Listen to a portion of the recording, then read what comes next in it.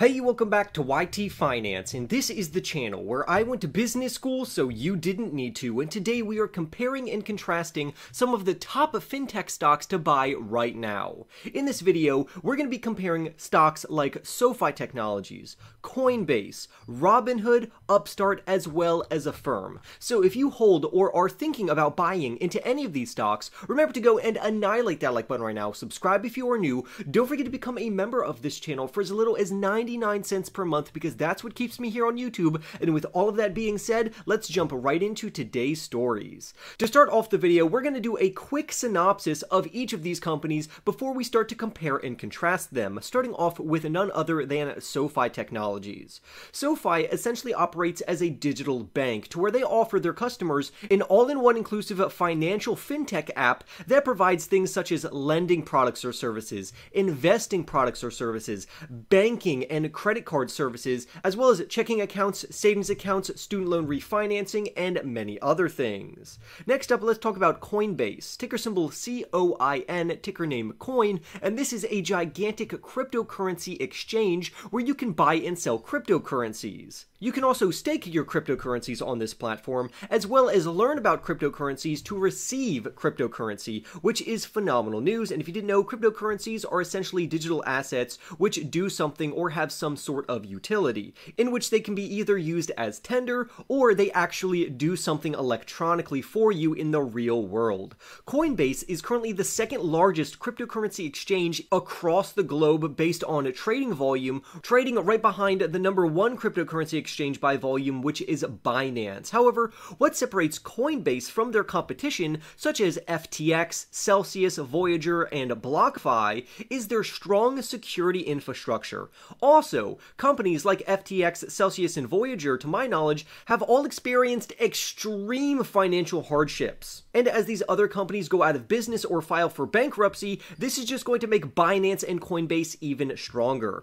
Next up, we have Robinhood, ticker symbol HOO ticker name Hood, which is a financial services company that operates a commission free trading platform for investing. So if you want to invest into stocks, and they even have some cryptocurrencies on there, you can go on their platform and trade these particular assets literally for free. And Robinhood has essentially changed the investment landscape, which overall was very good news. Next up, we have Upstart, ticker symbol UPST, which is a company that operates a lending platform which utilizes artificial intelligence, also known as AI, as as well as machine learning, which can be abbreviated as ML, to essentially estimate somebody's credit worthiness. So if you want to borrow money, but you have a low credit score to where traditional banking institutions will not give you money, Upstart will assess your unique situation and scenario with their artificial intelligence platform to determine your actual credit worthiness, which will estimate the overall risk and potential of you paying back your overall loan. And then lastly, we have Affirm,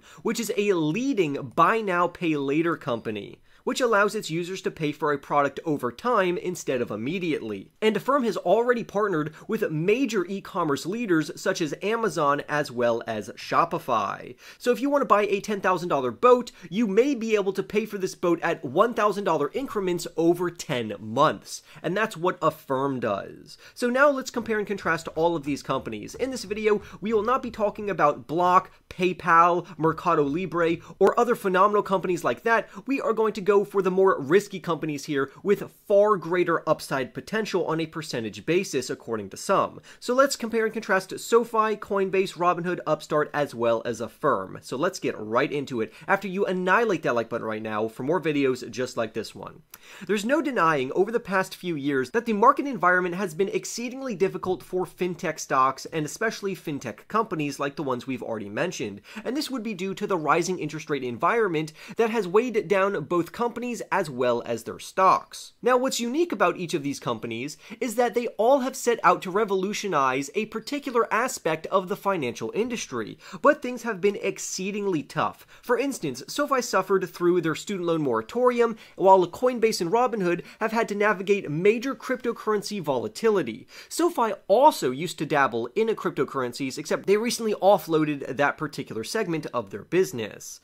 However, it seems that these companies are trading at a pretty good discount right now, considering that they are trading at relatively low prices, which means that investors should hop on these opportunities. The question is, how much upside do these companies actually have, and can they demonstrate sustained growth and efficiency over the long term? So let's dive straight into their financial prospects, starting out with their revenue and revenue growth rates. To illustrate this, we have a slide on screen here, which goes over their total revenues. And as we see on screen, we see that Coinbase is coming out on top here with total revenues of $2.63 billion, while SoFi is right on their heels of $1.91 billion. And clearly, they are all color coded here on screen if you would like to see them. So, overall, the top two players are clearly going to be Coinbase and SoFi Technologies in this regard, while Upstart has actually started a downward trend in their overall trajectory, which is really not good for investors. There's no question that Coinbase is the clear winner here, with their trailing 12 month revenue being the highest, although the revenue has been on a clear decline since quarter one of 2022.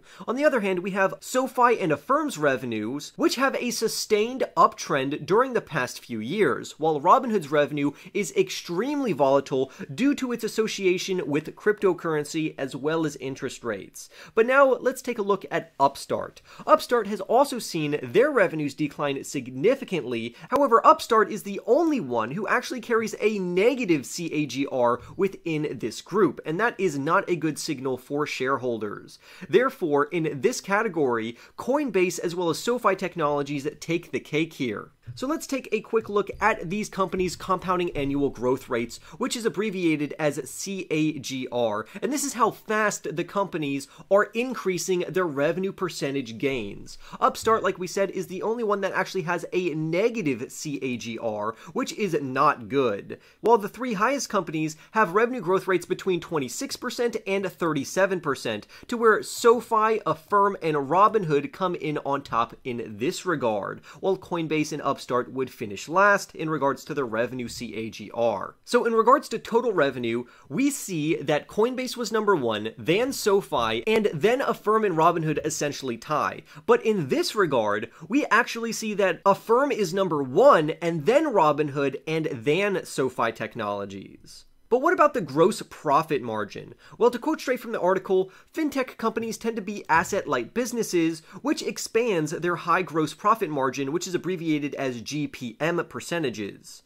A higher GPM percentage is better, as this is the percentage of money left over from revenue after subtracting out costs of goods sold. So let's take a look at what company succeeds in this regard. Unsurprisingly, we again have SoFi Technologies and Coinbase as our top contenders here, with a close second place between Upstart and Robinhood, while Affirm actually comes in last in this regard. And honestly, I really like SoFi Technologies' steady steady uptrend that you can see from this green line here. They are slowly but surely consistently bringing in higher gross profit margin percentages, which is phenomenal news for investors, and that's exactly what we would want to see. So in this regard, again, we see SoFi and Coinbase coming in as the top two. SoFi has shown a strong uptrend in this category for several years, while Coinbase has had the highest GPM within the group at an impressive 85.61%.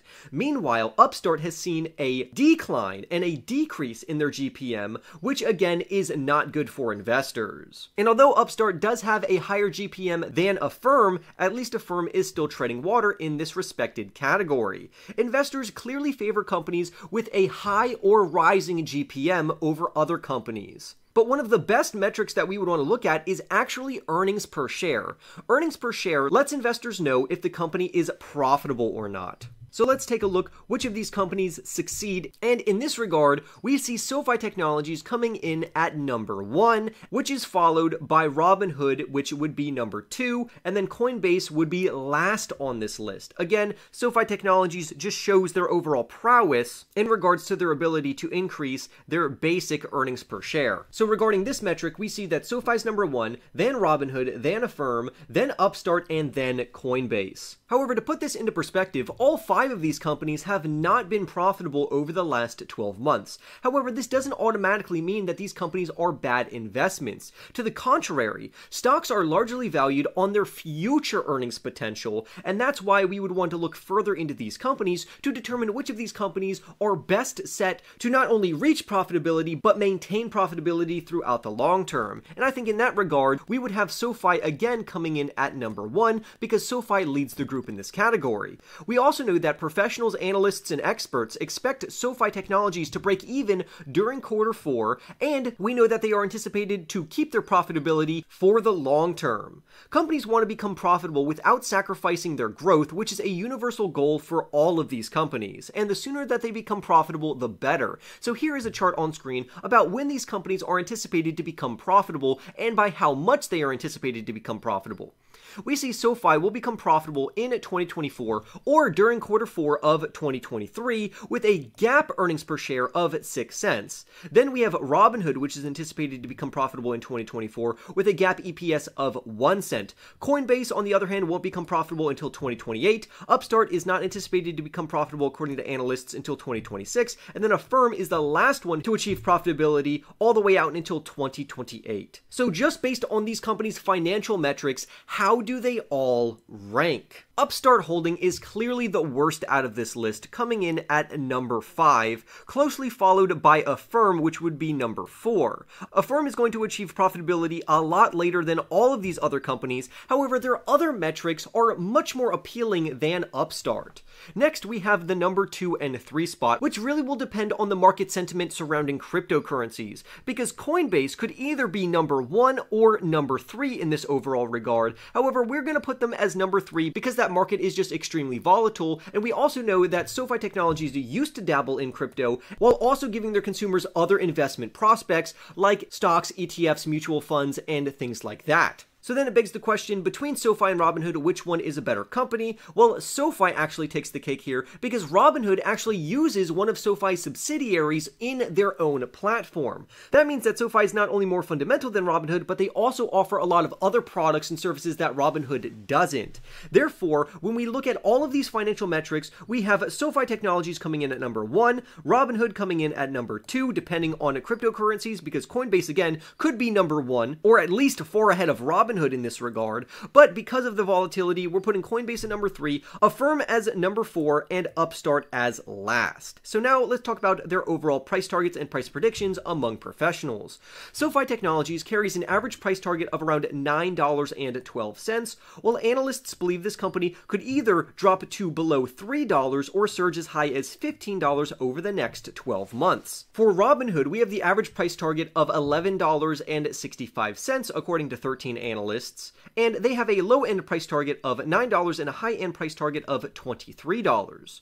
According to professionals, Coinbase has an average price target of $90 per share, with a bearish price target of $35 and a bullish price target of $160 over the next 12 months.